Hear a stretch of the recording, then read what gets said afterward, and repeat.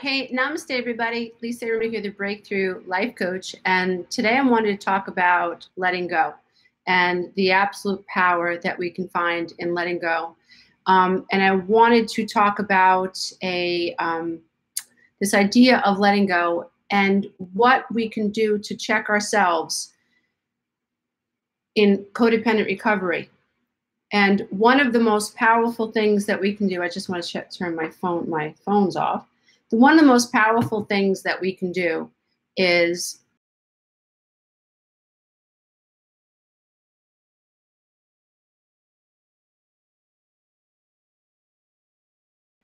that when we are stuck thinking that other people should do what we think they should do, then that is a clue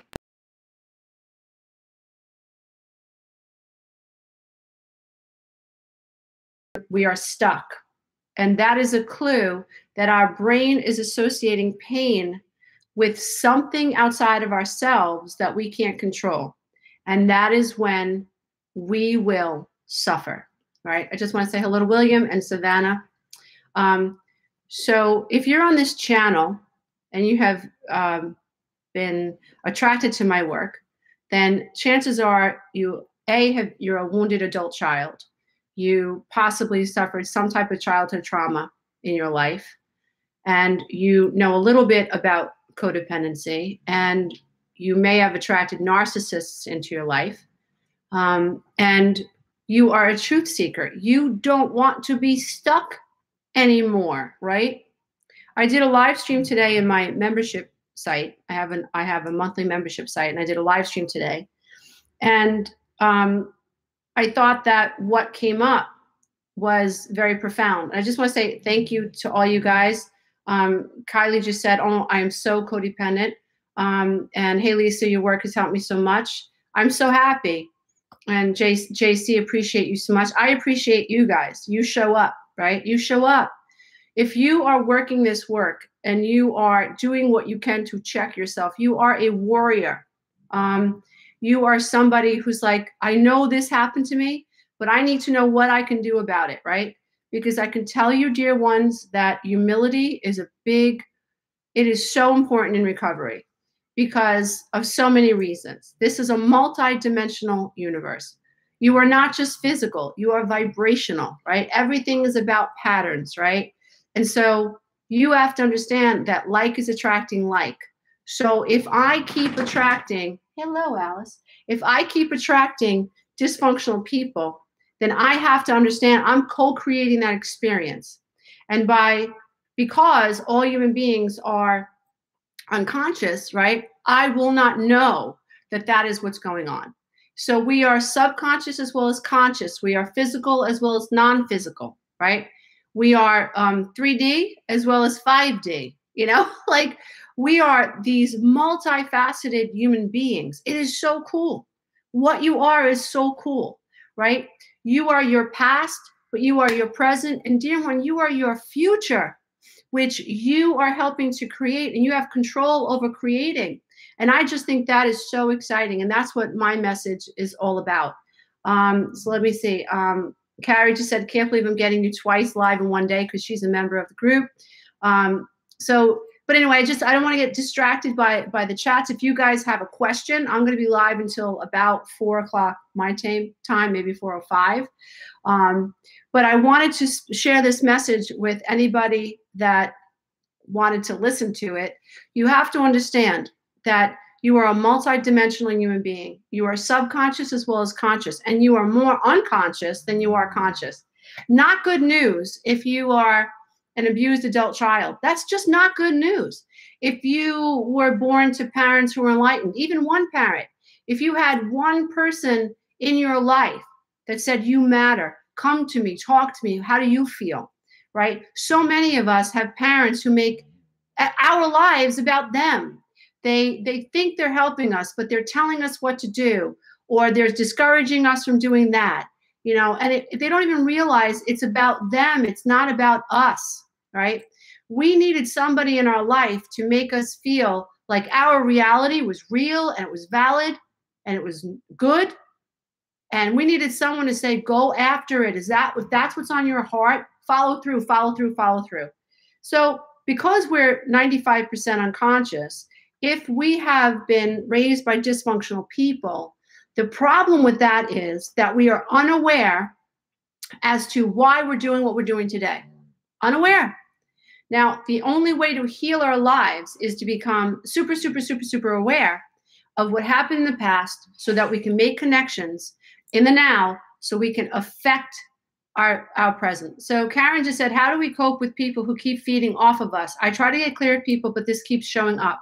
So Karen, great live stream for you because what we have to accept, dear one, like it or not, is that we are co-creating our realities, right? Not our fault. That's it happens to everybody. That's just the nature of humanity and what it means to be a physical human being. We are unconscious, we are subconscious, we are subject to what happened in the past. You know, whoever raised us, we attune our vibrations to. So if they're dysfunctional, unfortunately, we've attuned ourselves to this dysfunction. We could we could think we're doing everything right, but we're going to attract is dysfunction. So how do we stop attracting dysfunction? We have to become super aware. We have to accept that we're part of the co-creative experience. And that's really hard to do because whenever I encounter, and I've got people like this in my own family, dear ones, that's why I think I know so much about this topic. But whenever I encounter somebody who is still ongoing, ongoing with their struggle, you know, um, what I try to figure out is what are they not letting go of? And what are they trying to control that they really can't control? Who are they trying to control? What are they trying to control that they ultimately cannot control? If you associate pleasure in your brain with trying to control people you can't control, you will suffer. Suffer. So if you think that you can control your daughter and your sister and your coworker and your boss, if you unconsciously believe that you have to control these people in order to breathe easy and to love yourself, you're going to suffer. That is the human condition. That is what is associated to unconsciousness, living below the veil. It is so, so, so powerful to be born asleep, right? Dear ones, all babies are born asleep.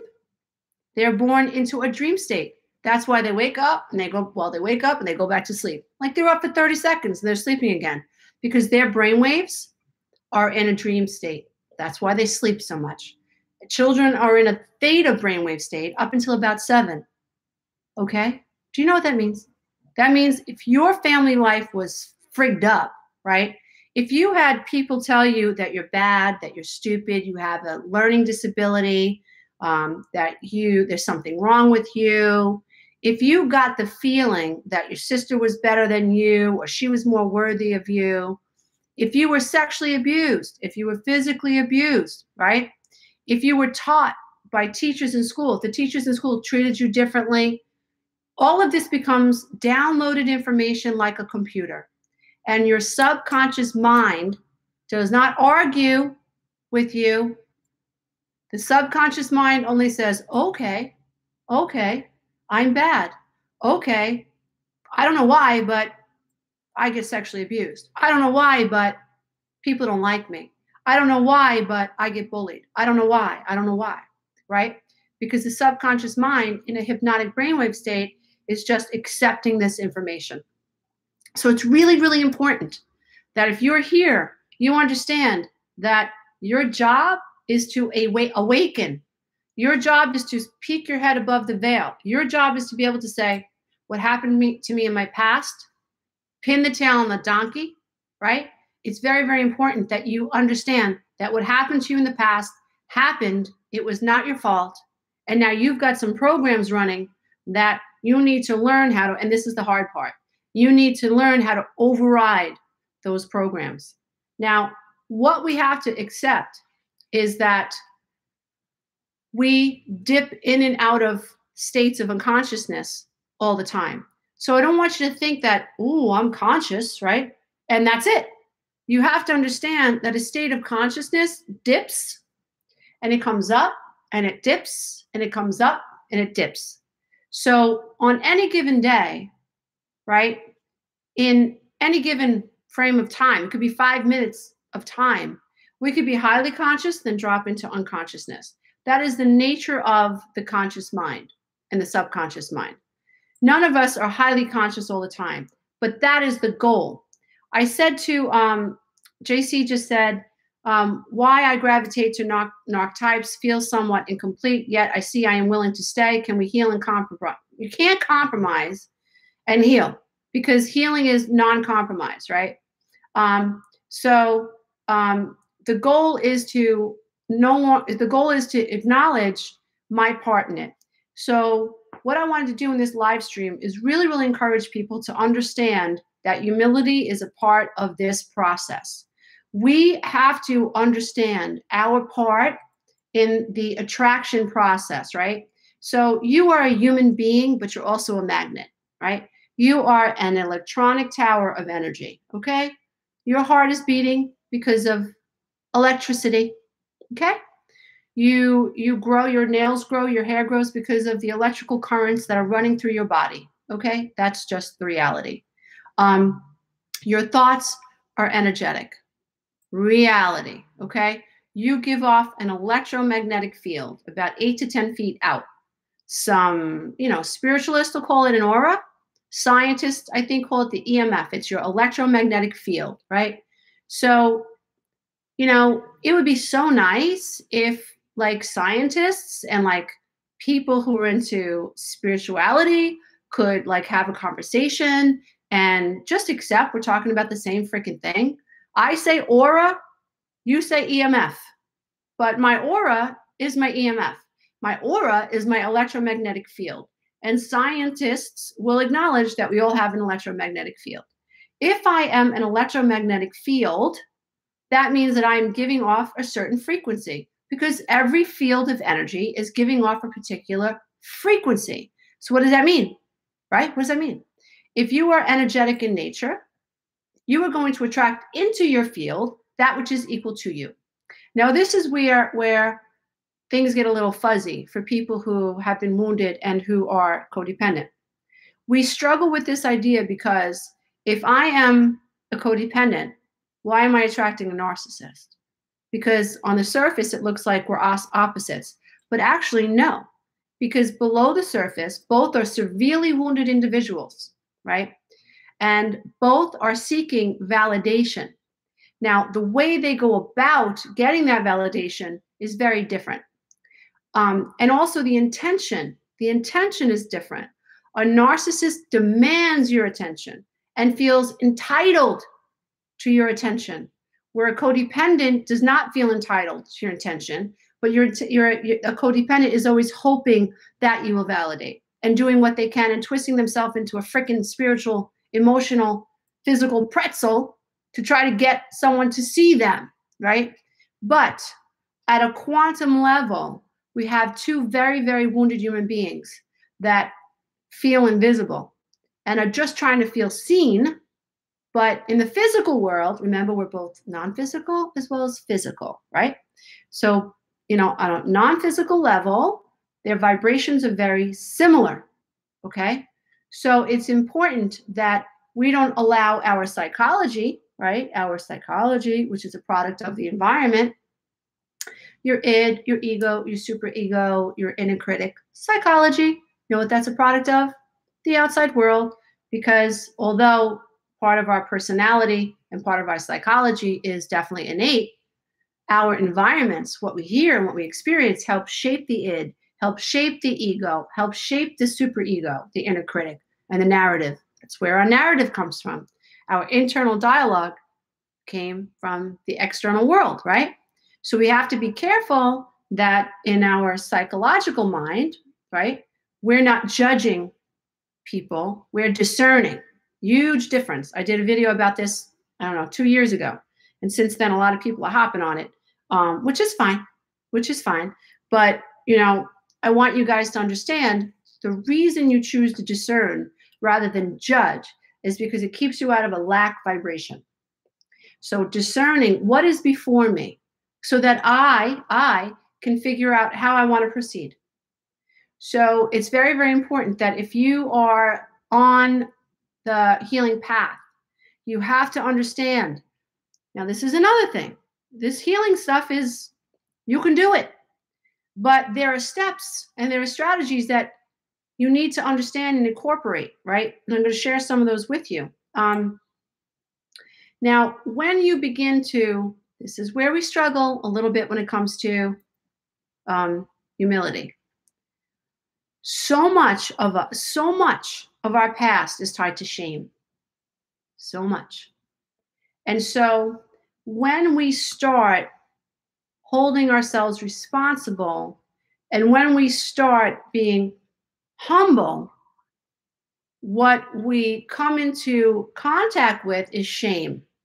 And that's where we need to hold on to self awareness and higher thoughts, the divine feminine the divine male energy that we really, really are. We have to know, like Maya Angelou says, basically, when I knew better, I did better. You know, Christ on the cross, forgive them, Father, for they know not what they do, right? So when we think about these wonderful teachers that we've all encountered in our life at one time or another, they're all saying the same thing. Is there really free will if you didn't know what you know now?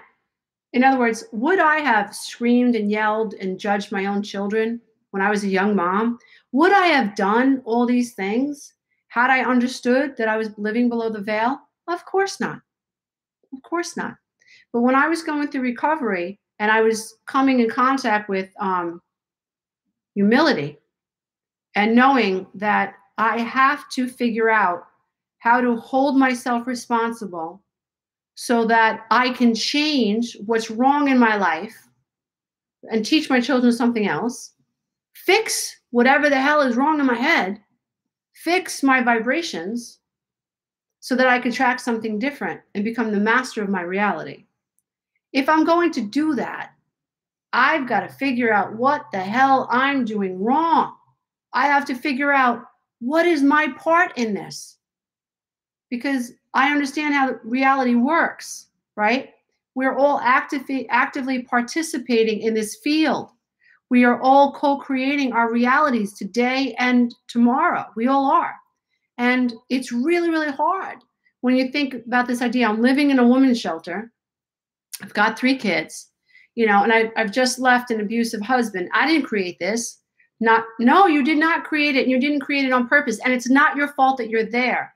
It's so important, that people understand that wherever they are, it's not their fault. If where you are is where you are because you didn't know that you were living below the veil and you didn't know that your abusive childhood made it difficult for you to break up with a narcissist and instead you stayed with the narcissist and you walked around on eggshells and you had his kid right and then you you had to protect the kid and you're just in survival mode and then you have another kid you know because you're afraid to say no to him to have sex right so now you got two kids right and now he's drinking and you don't say anything because he might beat the shit out of you and he might hurt the kids so you're in survival mode right it is not your fault if you are in that situation and no one taught you how to love yourself. No one taught you how to honor what was on your soul. No one taught you how to set boundaries. No one taught you that you were enough. It is not your so- fault if your whole life you were living in survival mode. And now, as a grown ass man or a woman, you've attracted this narcissist in your life who is a psychopath, who is who is abusive sexually, physically, mentally, verbally, psychologically, financially, you name it. That is not your fault. It is not your fault. It's so important that you know that because you have to know that so that you can check yourself. So you can say, okay, I'm here. How did I get here? How did I get here? How did I get here? Let me check out my past. You know, wh- what kind of person was my mom? You know, what kind of things were downloaded into my brain? You know, that made me doubt myself. You know, what was it about this narcissist's love bombing that hooked me? You know, some of us are so thirsty for love. That when a narcissist love bombs us, our brain floods with oxytocin and we this love bonding chemical our brain floods with serotonin dopamine. And isn't it interesting that dopamine the word dope is in dopamine because you start to feel a little like dopey meaning like you lose your ability right to like think because your brain is so flooded with these hormones and these chemicals that make you feel seen.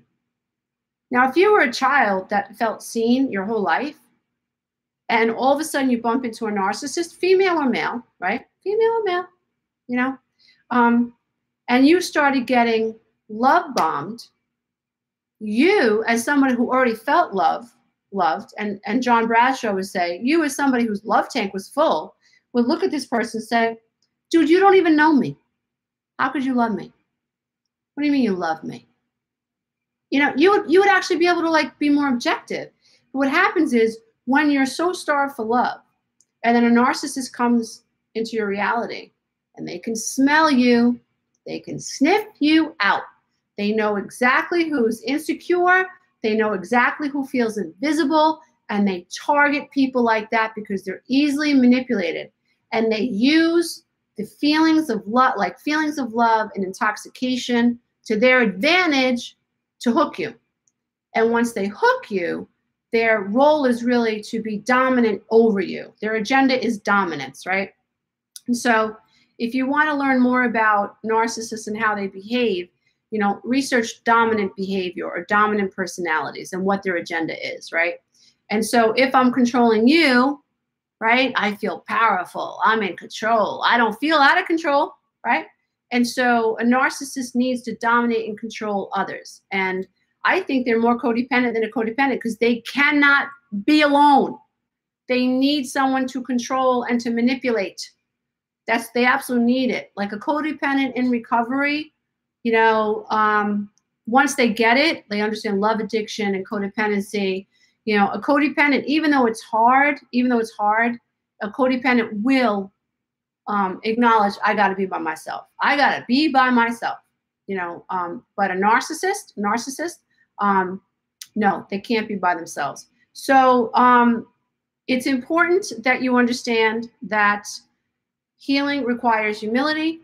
But the sticking point for so many of us is that we are so filled with shame. We don't think that we're good enough. We, we don't know why people can't love us. We don't know why we can't fit in. We don't know why people reject us. Everywhere we go, we face some type of rejection. We think that our friends are closer than we are with them. Um, we can't get along. We can't. We can't feel like we belong, right? And that is uh, really a byproduct of what we experience in childhood. And when children don't feel bonded with, when they don't feel um, enfolded by their tribe, a child always assumes responsibility for that rejection. And I personally think it, I personally think um, that that is because if I assume responsibility for your rejection, tomorrow I might be able to control it. Tomorrow might be pretty enough. Tomorrow I might be quiet enough. Tomorrow I might be good enough tomorrow maybe you will feel better and you will love me. So, this is the way a child thinks, and a child assumes responsibility for all the pain. And that is why we feel so much shame. Now, my big shtick is above the veil or below the veil. And it is an illusion to think that just because you're talking and you're breathing and you're walking that you're conscious. No. You only need to be about 5% conscious to carry on carry on a halfway decent conversation, right? You don't have to be aware to have a conversation because your subconscious mind will just say to someone, "How are you? Good. Great. Hope your family's good. How you feeling? Great. Awesome. What are you doing this weekend? Oh, I don't really have that many plans. Da, da, da. It is a it's rehearsed over and over and over and over. And so it's important that you realize that just because, and this was a big shocker for me. It was a big shocker. I remember going, What? I can think about the way I think. It it really it freaked me out. I was like, "Oh my god." Because up until about 35, 33, 34, 35, I thought that I was thinking, but I wasn't. I was reacting. I was reacting, dear ones. I was below the veil of consciousness. I had all of these predetermined thoughts in my head. My brain had downloaded information. The amygdala was very, very stimulated. My hippocampus, the hippocampus is the area of your brain that stores memory, right? And so I didn't realize that what was happening in the conscious field was really just a byproduct of what had been downloaded into my amygdala and my hippocampus. That's the way the conscious field works. The conscious field is like Bravo television, really. The conscious field is like a television set, right? And all it does in this field that you can observe with your mind's eye is all it does is flash information before the screen that's been downloaded into the subconscious mind. And what people do that are below the veil, right, is they're reacting to what's coming up on the screen. That's the average human being. I hope you hear what I'm saying. I'll say it again. So, um, you have the subconscious mind, you have the amygdala, and you have the hippocampus. The amygdala is where your your um, well your fears are stored. In other words, we all have a need for tactile stimulation. Um, we all have um, uh, a fear of loud sounds. We get there's a startle reflex, right? Um, we all know that we are supposed to be nurtured and be loved, and we all know that, or put it this way, if we get what we need, we will psychologically, emotionally, spiritually evolve pretty damn well. If we don't get what we need, we get stuck, right? And we get stuck trying to trying to get those processes met. So we get stuck trying to get our needs met. And that never leaves us until we get the needs met. You could be 80 years old. I've coached people in their 70s and 80s who are stuck. These poor things, they're stuck. It's not their fault. So it's important that you understand that you can be an animated human being and not be conscious. And when I say conscious, I mean the type of person who has self awareness, the type of person who knows that I can observe the way I think. Okay. Um, it's the type of person that is interested in observing the past and from a higher state of awareness, working through these programs that have been created in the past. Really, really cool stuff. So, the conscious field, imagine the conscious field is like a television screen, and you are observing what's flashing before the television screen. So, imagine you're watching a Giants game or a Jets game. I'm from New York, so I'm saying Giants, Jets, and Yankees, whatever, whatever your shtick is. Imagine that you're watching um, a sports game on television and you are, yeah, yeah, you're reacting, right? Okay. You're reacting to the program, right? You're reacting to the program.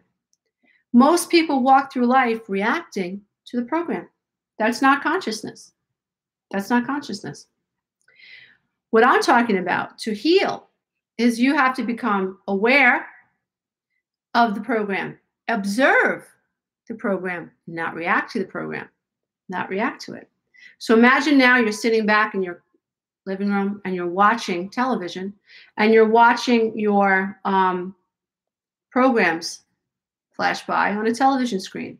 Now, instead of rah, rah, rah, instead of that, you're observing them. You're observing them and you're saying, wow, that's why I do that. Wow, that's why I feel that way. Mm-hmm. Wow. And now, what you've got to learn to do, and this is what I teach people how to do through my programs and videos and whatever, meditations. What I try to do is I try to help people become their own television programmer. I try to teach people to be observing of what's happening on the screen of your mind. I help people detach from what's happening. And I help people to discern what's happening from them and the past. Because you are not your past. Your past is an experience, right? A memory isn't bad, it's just an experience.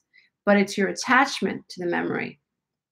It's your associations to the memory that are keeping you stuck.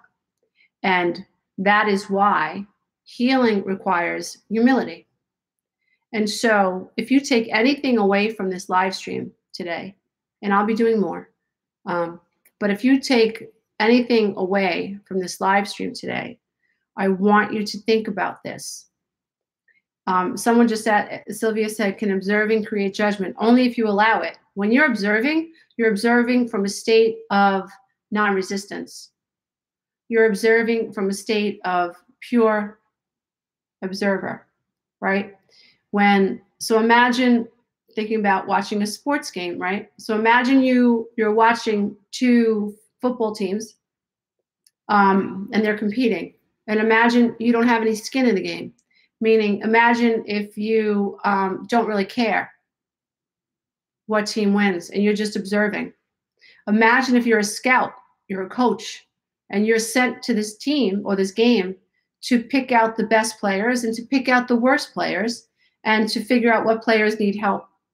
There's no judgment there. There's just discerning. There's just observing. There's just categorizing, figuring out, right? So, oh, that that lineman tends to trip over his left foot. So if I help him do this, then he won't trip over his left foot and he'll be a better lineman. So that is what I teach people how to do. I teach people how to detach, observe their thoughts, and help them figure out what thoughts are getting in the way and what thoughts are tripping them up. And then we have to reprogram. We have to add new ideas. And then over and over and over and over and over and over and over replay these new ideas so the old programs are begin to fade away right? So know that if you really want to heal and free yourself of any situation um, from any situation that you're in. So let's say you're in a really really bad situation and you want to get out of it right you have so much power like eckhart tolle says says i love him but he's so wordy. You know big words. I have to go to the dictionary and the thesaurus to figure out what he's saying but he's brilliant. I love him. Love to hang out with him. Um, but eckhart tolle says or tolle says all your power is in the now. That is so true. Because um, what you want to try to manage is the now. How am I feeling now? If you are in a really crappy situation right now, right, and you are living in fear, what you don't understand on a quantum level is that is a state of constriction. What you don't understand on a vibrational uh, level is that the universe is lining everybody up two by two, vibration by vibration. The universe is not trying to hurt anybody. Nobody is more important than someone else to the universe. It's just a bunch of codes. It's just a bunch of patterns, right? It's just a bunch of waves, right? And it's just a bunch of energy lining up with like energy. So if I am fear based, if I am fear based, I am going to attract people who are fear based. And that could be somebody who just robbed a bank and he's afraid of going to jail he's afraid, right? I could be afraid that I'm not good enough and my ex-husband's gonna, you know, come after me and I'm minding my own business in 7-Eleven and I bump into somebody who just robbed a bank and I'm attracted to him and I don't know it's because he's on a fear vibration and so am I, right? On the in the world of Caesar or, or in the world of physicality, we'll tend to judge, well, she's a good person and he was a bad person suspend judgment. No judgment. No judgment. Look at yourself and look at other people as a as a vibrational being and you will be able to heal that much quicker. That much quicker. If because judgment is constricting you, right? And self-righteousness is constricting you. The way to be happy is through non-judgment. Judge no one, not even yourself, right? Discern. Lion, tiger, and bear. Oh my, you know, to me, I teach my children to discern. I want them to know that there are people in this world that can hurt them, right? you know, I live in Long Island. Today I'm, I'm, reading the news. I got so, well, I heard the news. I got so pissed off because two guys tried to, to abduct two eight year old girls in their front yard with a gate. So these two guys, you know, drive up to this gate. They see these two little girls outside and they try to abduct these two innocent little girls. Thank God they screamed and they yelled, you know, but that's the truth, dear ones. There are people in this world that are dark. Dark energy exists. It's just a reality. So for us to go out into the world and think that everybody's like us is naive. For us to go, I remember thinking, I just assumed that everybody thought like I did. What a kick in the ass that was when I realized no, not everybody thinks like you. Not everybody is honest. Not everybody lets the cashier know that she gave you an extra 20 bucks and gives the money back. Not everybody will work for you and not try to hurt you. Not everybody thinks like you, Lisa. Not everybody would never think about cheating on their spouse or flirting with another person because they're in a relationship. Not everybody thinks like you. That was like such really a kick to my face when I realized that there are people that can hurt you. And so I don't let that reality um, get me stuck. What I do is I just say, Namaste, Namaste. There are lions, there are tigers and bears, and there are narcissists and sociopaths and psychopaths.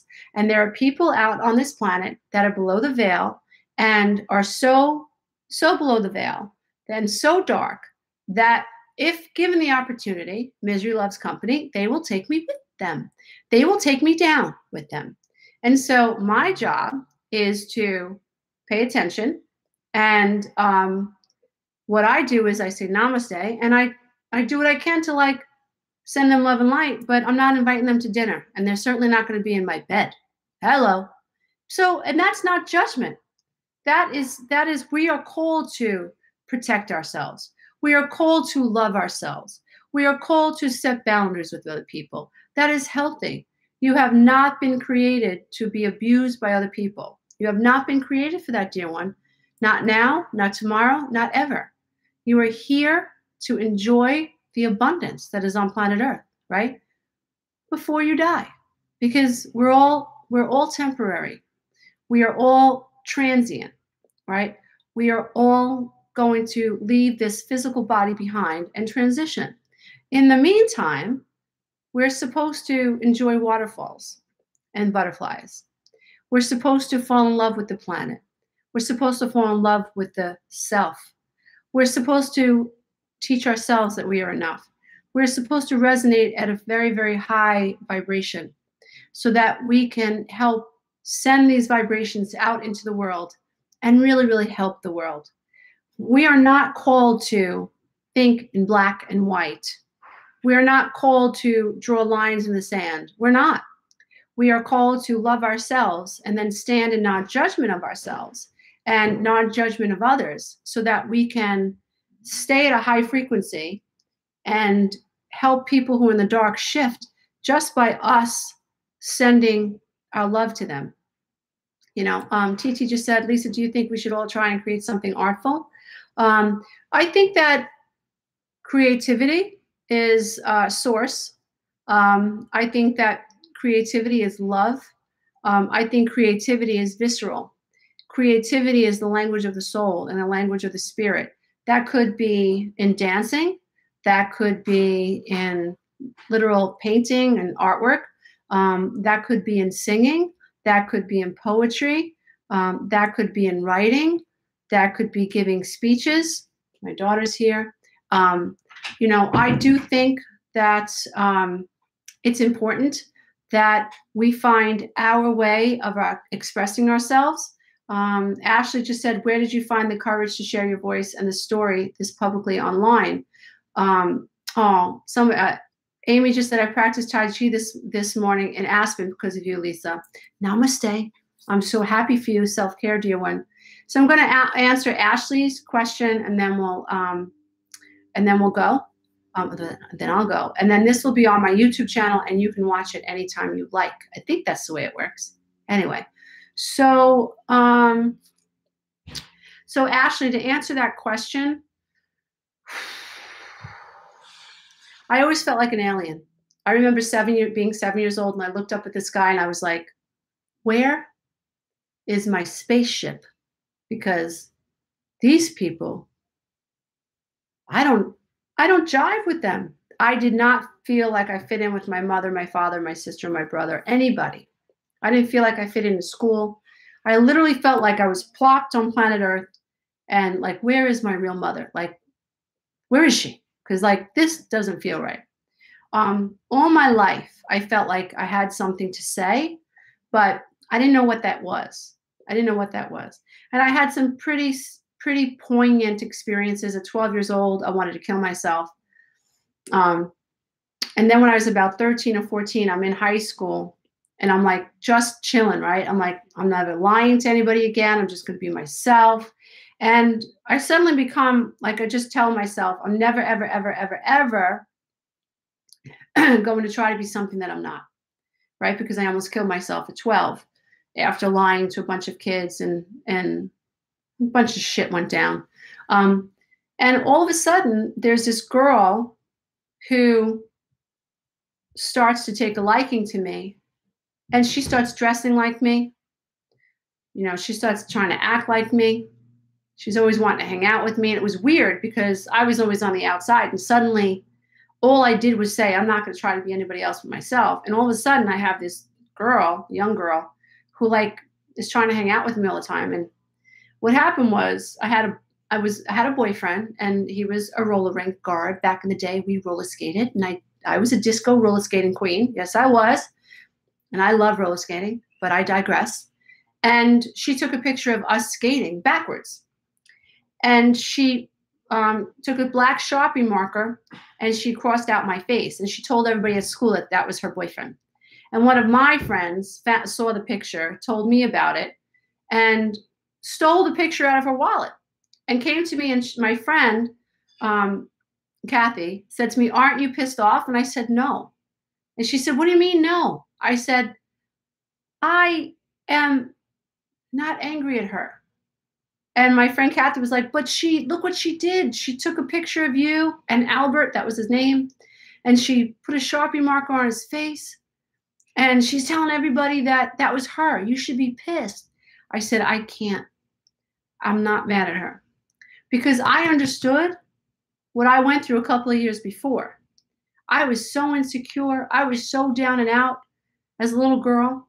And I lied about everything because I wanted people to love me. I wanted people to like me. And I didn't feel like I was good enough. I was just trying to make be what I thought people wanted me to be. And I saw that in this girl, right? So what I did was I had, I'll never forget, I had two periods free. And I just wrote her like a three or four page letter. And I said, I understand. You know, I I've done this and I've done that, and I'm so sorry you feel this way. And trust me, my life isn't perfect, and you are good enough. I mean, at 13, 14 years old, I was telling this girl who basically stole my my whole life, basically, and was pre- pretending to be me which was so weird. And all I did was offer her compassion and empathy because I knew what that felt like. So even at that young age, I was like trying to tell people that you're good enough and you don't have to be pretend to be anything that you are. Unfortunately, or for what happened was she I put the, the letter in her locker and we had homeroom and I came in and she threw her arms around me and she was hysterical crying and I thought I have a friend for life. But unfortunately, I don't think she could handle it. I think she had a breakthrough. I think she learned something that experience and then she ended up getting a bunch of other friends. But I was happy that I didn't judge people the way a lot of the girls that I was hanging out with judged me. And that really felt profound. So the reason I share this is because um, I've had moments like that in my life where I felt like that was pretty significant and I would love to have shared that with somebody. After my divorce, and I realized that oh my God, it wasn't me. I was just programmed to be codependent. Like when I realized that my mother was a codependent and my grandmother was a codependent, and I realized that I came from a long line of alcoholics. When I realized that this was all a pattern of behavior and a pattern of beliefs, and I looked at my three babies, I said, oh my God, like my grandmother programmed my mother to think this way, and my mother programmed me and my brother and my sister to think this way. And oh my God, I'm programming my children to think this way. You know, I was like, I got to get the hell out of here. And I committed myself to healing. At that point, my family wanted nothing to do with me, really. They thought I was batshit crazy. Um, but to be honest and completely transparent, Ashley, to me, it was just news that I could not keep to myself because I looked around and I thought, people don't know that they're asleep. Somebody's got to tell, tell them. Wake up, dear one. It's all been a dream. You are enough. I just felt like somebody has to tell people, like, they don't have to be codependent. It's a program. It's just a program. And you can reprogram. Like, there's a way I did it, and you could do it too. And then I wrote my book, and I thought, okay, I'll just write my book and um, that'll be it. And then I write my book. Um, well, before that, back that up. I wrote my book. It took me very many, a lot of years to write it. And then one night, one night, I got a phone call from my brother, and he said, um, "John just John's dead." And I said, "What?" And he said, "John killed himself." That was my sister's husband. And I hit the floor. I just hit the floor. I hit the floor. And it was like a rocket went off in my head, and I knew you have to publish The Road Back to Me. And by the way, if you guys want a free copy, you can actually go to audible.com and you can download a free copy of The Road Back to Me or any one of my books through audible.com. Take advantage of it, get it for free. You can also send it to a friend for free, which I think is pretty freaking cool if you sign up for their free trial. Anyway, I digress. But when I heard that my brother in law killed himself. A rocket went off in my head, and I knew this story, The Road Back to Me, and the message in it is bigger than me and bigger than my family. And if I write this book and they never talk to me again, it's okay. Because what I felt, what changed my life, I knew could change someone else's life and it could actually save their life. And I've so many people have written me and said, the road back to me changed my life.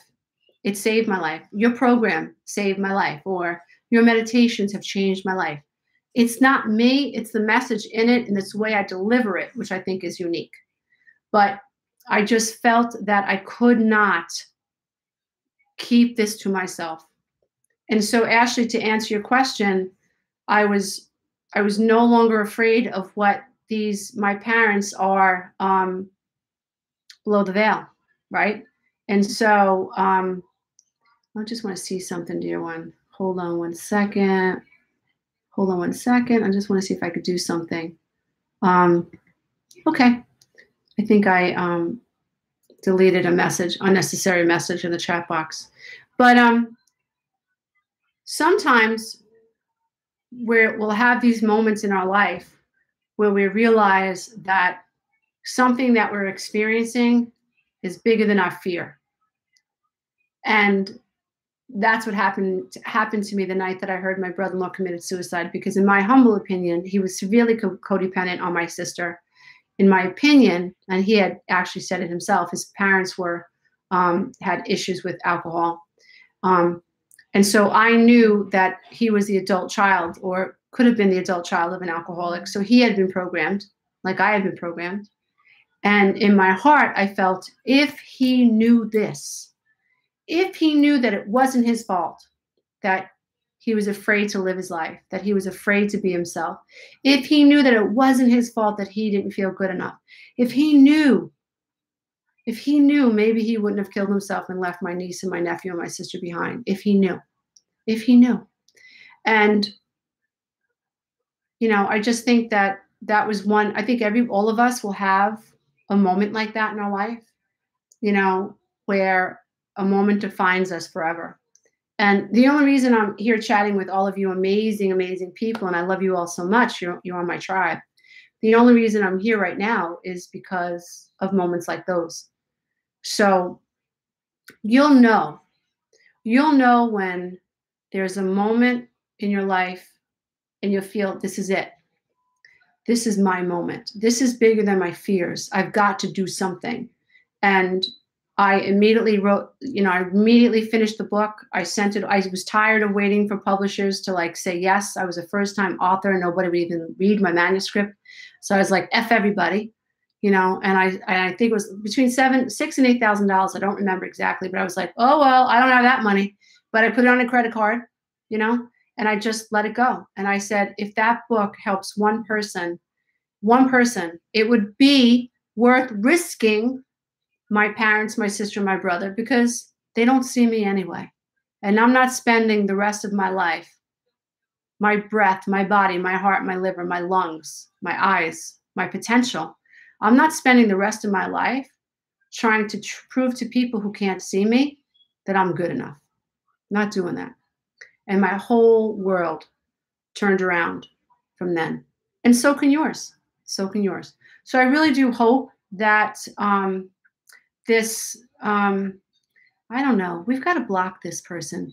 Let me see if I can block this person because um, we're going to block this person because there's no reason for him to be doing what he's doing. Whatever. Boundary. I'm enough. My Facebook, my, I'm sorry, my YouTube channel blocked him, dear ones. Yes, Nicole, I blocked that person. Hello. So boundaries boundaries, boundaries, boundaries. I've learned to use them. I've learned to love myself and know that I am capable of using them. Um, I accept when people get pissed off because I set a boundary. It's lovely. It's lovely to thank you, Bernice. I'm sorry I was. I know you. I, it says that you reported him three times. Well, he's actually been blocked and removed from the channel. You know, once in a while you get a troll like that. What are you going to do? I told you, lions and tigers and bears exist, right? So we have to discern. We have to discern. So thank you for, um, you know, letting me um, figure that out. This is my first YouTube live stream like this, so it's done. So um, look forward to more. Um, I'm not sure I'll be able to get one done tomorrow, but maybe Friday. You know, um, dear ones, you are enough, and we're all on the same path. And the path is towards enlightenment, self awareness, self accountability, self integration, self love, self care, self I am enough, I am enough, I am enough, I am enough, I am enough. Say that 10 times. I am enough, I am enough, I am enough, I am enough, I'm enough. Damn it, I am enough. I've always been enough. Hallelujah, I am enough. If you say that you're enough over and over and over and over and over and over and over, your brain will believe it. So hold on to yourselves, dear one. Namaste. Bow to the love and the light that is absolutely in you. Bye for now.